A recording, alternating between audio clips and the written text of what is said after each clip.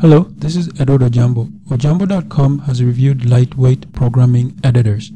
The link is ojambo.com forward slash review hyphen lightweight hyphen programming hyphen editors. Programming text editors contain extra features for easier workflow. The video will review gedit. The sponsor for the video is ojamboshop.com.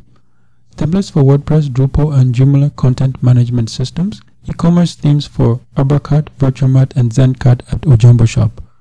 Health books can be purchased at ojamboshop.com. In order to follow along with this tutorial, the following tools are required. gedit text editor, browser to view final output, I use Firefox and Chrome, optional GVFS to handle remote files. Open up your file manager and go to the I use SSH to remote server. Then I'll just right click on the file and I'll open with gedit. Open a new file we'll go to file new and I'll just use PHP here PHP tags and I'll just echo this is a test for ojambo.com then I'll save it as index.php you can see the syntax highlighting is on. Now open up a new file and I'm going to save it as index.html. Automatically recognizes HTML. See the syntax highlighting.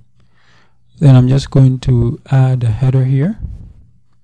And inside the header, I'm going to put a title ojambo.com. Then I'm going to add a body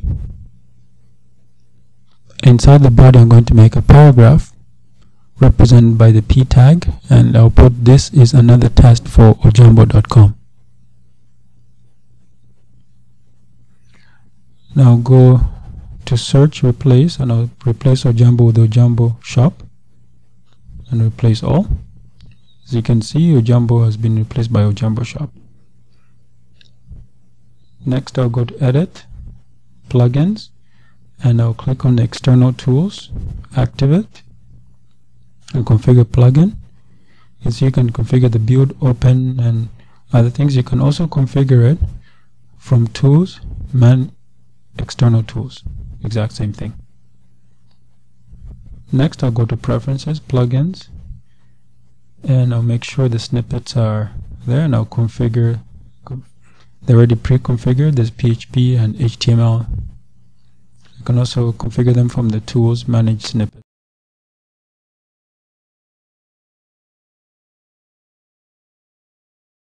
Now I'm going to type in some text. This is yet another test for ojambo.com and I'll copy and paste it two more times.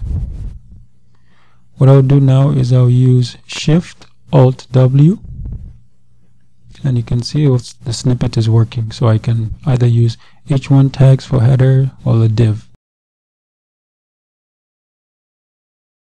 Now make sure this the bottom pen is there. Highlighting mode as you can see is HTML now save this. Now go to tools external tools and run command. I'll type firefox index.html See, it's very case sensitive, so I have to type in Firefox, a lowercase, index.html, opens up in Firefox. Now go to the PHP file, external tools, run command php index.php, and it runs it, and you can actually see the output.